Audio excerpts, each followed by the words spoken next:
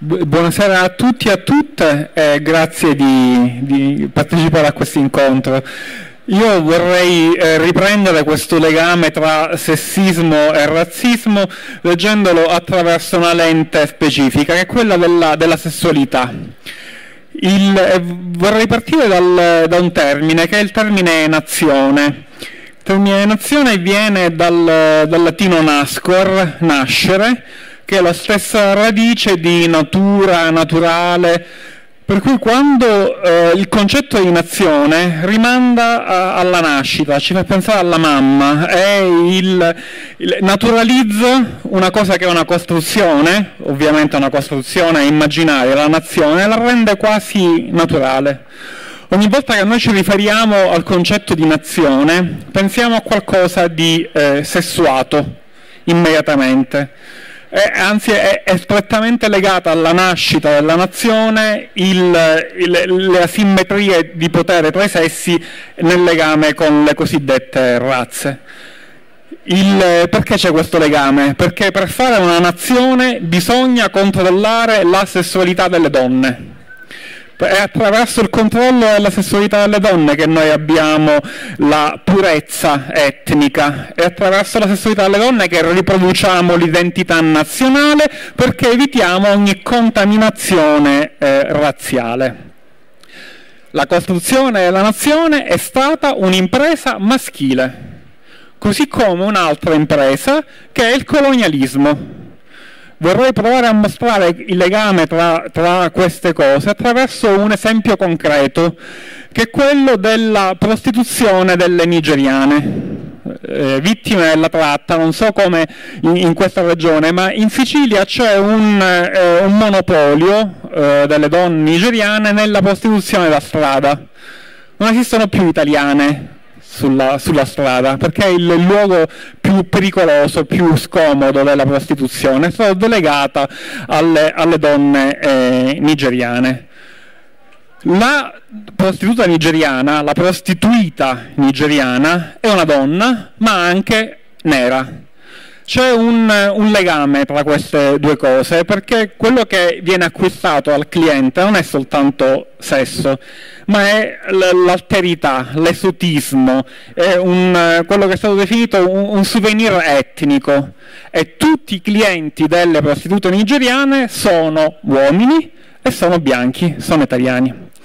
Ora, questo, vi volevo leggere un'intervista a un cliente delle nigeriane che diceva eh, ogni tanto, diciamo una volta alla settimana, vado con le negre. Sono stato anche con altre prostitute, ma con le negre mi diverto di più.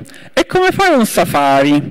Mi sembra di andare a caccia, mi sembra di cacciare degli animali grandi e grossi. Poi sono tutte uguali, vai nel mucchio, non hai il problema della scelta. Poi loro, per i soldi, fanno tutto, con loro ti senti una potenza.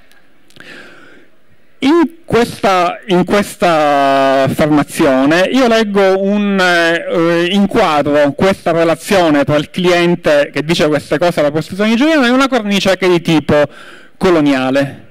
Abbiamo accennato, noi abbiamo un passato eh, coloniale che abbiamo dimenticato, ma anche nell'impresa coloniale c'era propagandata le opportunità sessuali che venivano fornite dalle, dalle colonie possibilità sessuali che erano scarse in, in una madre patria inibita dal punto di vista sessuale.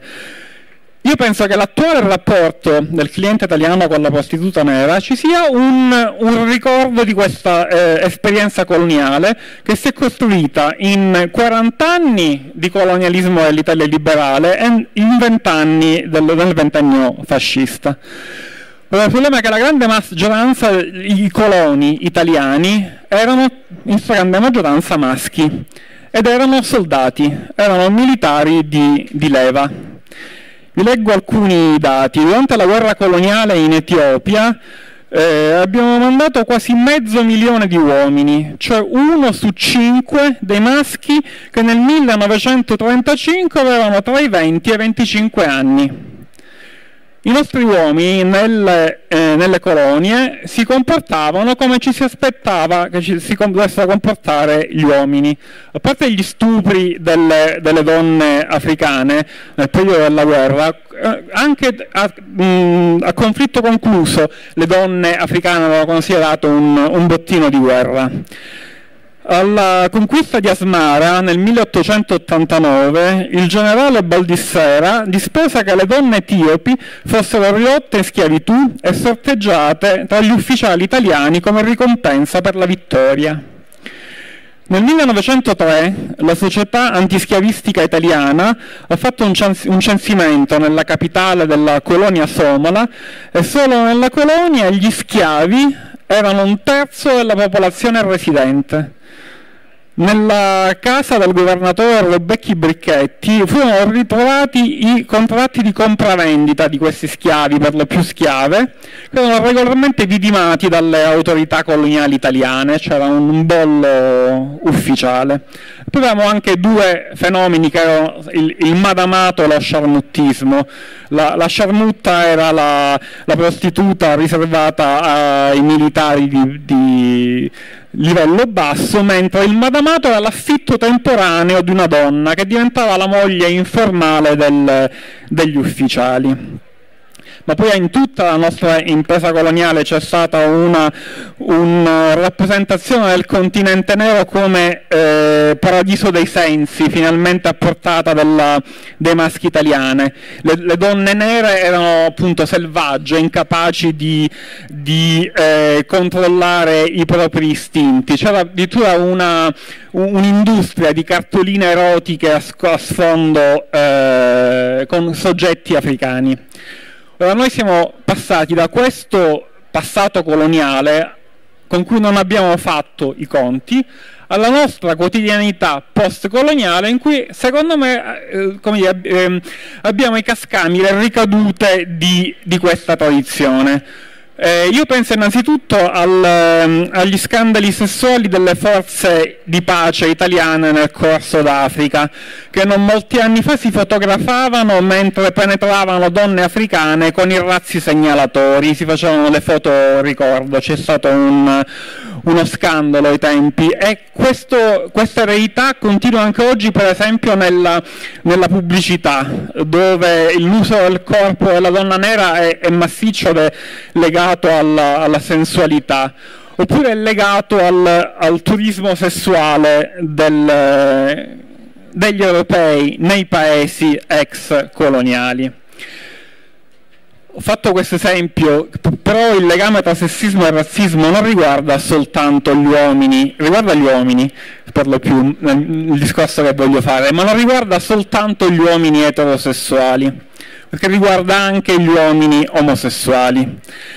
In, eh, ci sono delle ricerche su come vengono accolti le, i soggetti LGBT di origine straniera nella comunità eh, LGBT, perché eh, denunciano eh, cose abbastanza che ci possiamo immaginare. Innanzitutto eh, l'esotismo come primo approccio, a cui seguono spesso stereotipi e, e pregiudizi ma il problema è che c'è anche un, una questione di difficoltà di, di traduzione, perché eh, noi ragioniamo sulla sessualità a partire dai nostri schemi, ma le sessualità non sono tutte uguali sul, eh, sul pianeta. Per cui noi abbiamo una concezione dell'omosessualità, per esempio, che è identitaria, nella nostra società esistono soggetti che hanno un'identità omosessuale e soggetti che hanno un'identità eh, omosessuale ed eterosessuale, mi sono perso.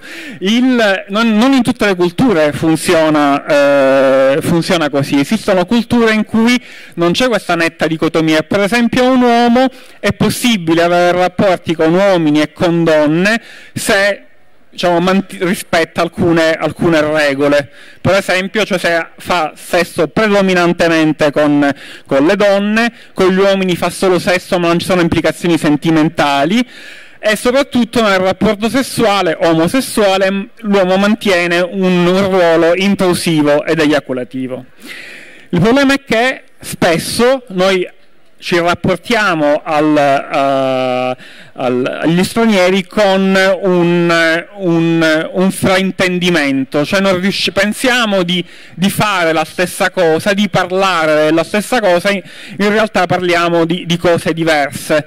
Per esempio il, cioè una, una, testimonianza di un, di un, ragazzo pakistano che si lamenta del fatto che nel, nella, di essere discriminato nella comunità gay perché eh, lui si definisce appunto capace di fare sesso con uomini e con donne e leggono questo suo comportamento esclusivamente come, come falsa coscienza.